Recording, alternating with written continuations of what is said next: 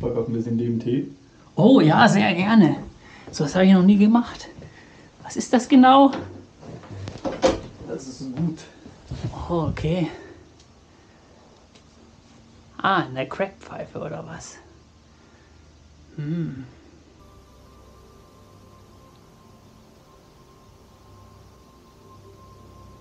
Jetzt einfach ziehen. Ja, gönn dir.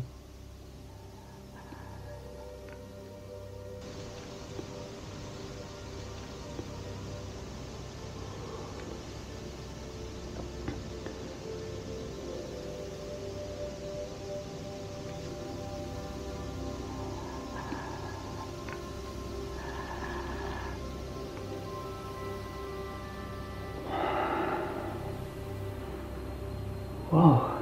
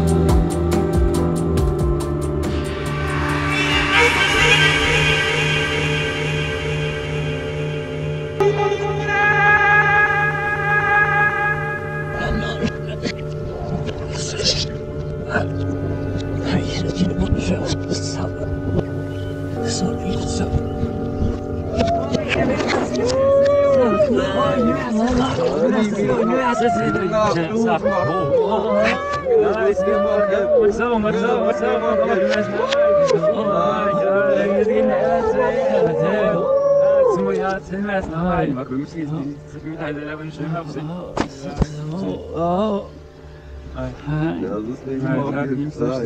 Sabe na luz, é na luz, se bebab, se você sargau, sargau. Sabe na luz, mas ele se mesmo desa. Ein Final aus Hilfe mir ja für ihm mir desa. Mas mal sagen, ei. Gerüsten, haben wir mich sehr gut. Hey, oh, wait, oh så veldig avsnitt i verden. Skjønner ikke hva jeg stenger til dem munnen. Ja, pappa,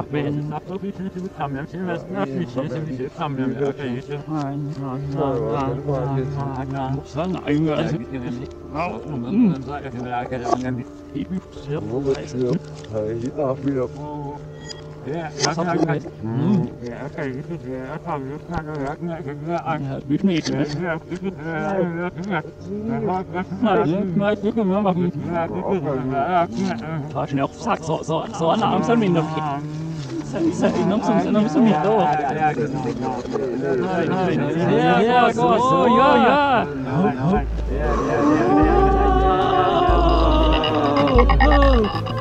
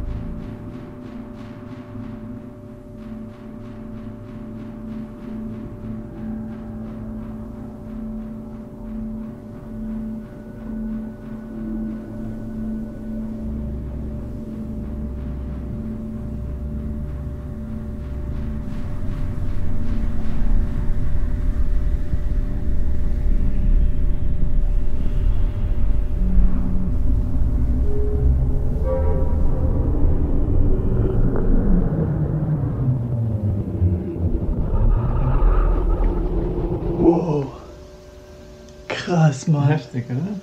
Das war auf jeden Fall heftig. Ich danke dir für die Erfahrung.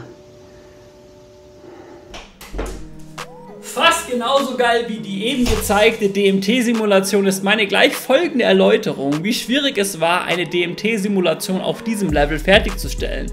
Es hat mich tausende Euro gekostet, bis ich zu dieser DMT-Simulation gekommen bin. Also supportet meine Arbeit doch gerne dadurch, dass ihr euch was im Open Mind Shop gönnt, wie den Projekt Hotere 3000, den es jetzt mit blauem Laser gibt, der jetzt zur Musik abgehen kann und durch eine neue Form mehr Ausrichtungswinkel zur Verfügung hat.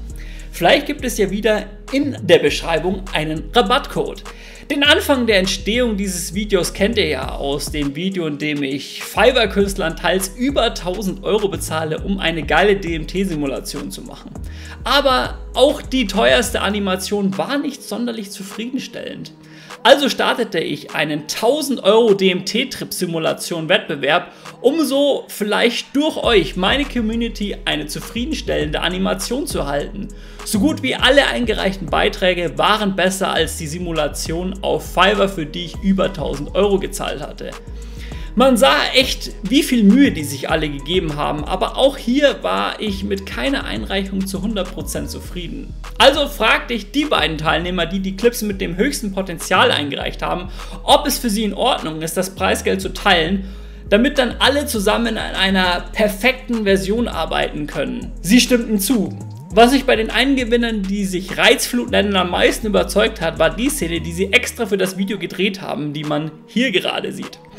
Diese Szene haben sie in einem Raum gedreht, der Teil einer Kunstausstellung, eines Kunstprojekts von ihnen war. Die machen im Allgemeinen sehr geile abstrakte Videokunst, die ich hier gerade einblende. Folgt ihnen auf Instagram, deren Account findet ihr unter reizflut.art, genauso wie deren Webseite. Vielleicht braucht ihr ja mal solche eine Videokunst für ein Projekt von euch. Die Einreichung von Ihnen ließ mich zu dem Schluss kommen, dass der Schlüssel zu einer perfekten DMT-Trip-Simulation selbst gedrehte Szenen sind und nicht Animationen. Ohne ein Hollywood-artiges Budget schauen DMT-Aliens leider nie sonderlich glaubhaft aus.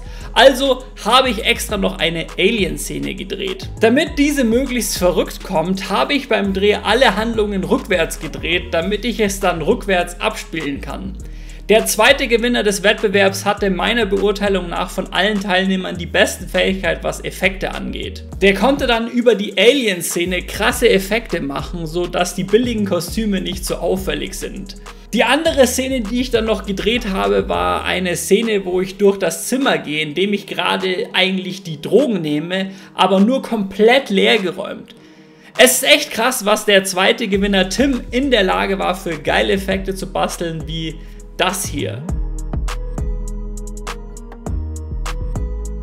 Auf Instagram findet ihr ihn unter Visualexperiment. Folgt ihm und schreibt ihm, wenn ihr ihn beauftragen wollt. Falls euch interessiert, wie die anderen Einreichungen beim Wettbewerb so waren, abonniert meinen Zweitkabal Open Mind Trompete. Da werde ich die besten Zweitplatzierten vorzeigen, wo auch ein paar echt geile Dinge dabei waren. Schreibt in die Kommentare, welche Droge ich als nächstes simulieren soll.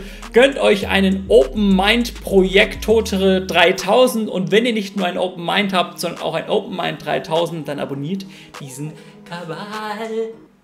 Das war nicht bequem, das aufzuhaben, aber ich habe mir gedacht, dass das irgendwie Sinn macht.